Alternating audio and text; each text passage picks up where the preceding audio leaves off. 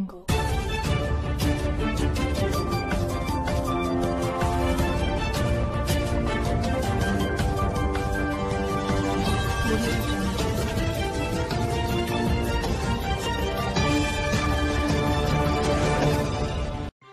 प्रदेश में अवैध रेत उत्खनन शासन की फांस बना हुआ है।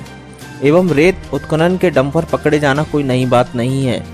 जिला कलेक्टर सिवनी आदेश अनुसार 30 जून 2019 को 19 से उत्खनन पर रोक लगा दी गई है।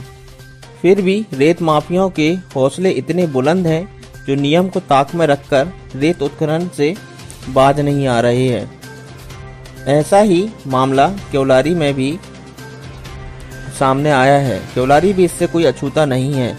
इसी कड़ी में केवलारी पुलिस थाना द्वारा अवैध रेत उत्खनन के मामले में केवलारी थाना टीआई के के अवस्थी के नेतृत्व में एक डंपर और एक 709 बिना रॉयल्टी के, एक में रेत और एक में गिट्टी से भरी जब्त की गई।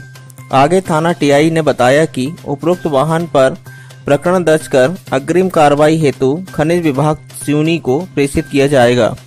हम पुलिस से आगामी भी ऐसी कार्रवाई की उम्मीद करते हैं ताकि इस अवैध रेत उत्खनन माफियाओं पर लगाम लग सके। सर, जो आज पुलिस के द्वारा कार्रवाई की गई है अवैध रेत उत्खनन के मामले में तो कैसा क्या मामला है? ये समनापुर बालाघाट से लेकर अवैध रेत बिना रायल्टी के तरफ़ जा रहे थे। तो यहाँ पे सूचना पर पकड़े गए दो डंपर है।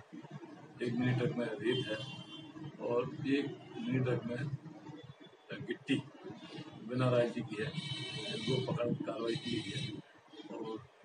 किया गया है जिला अधिकारी को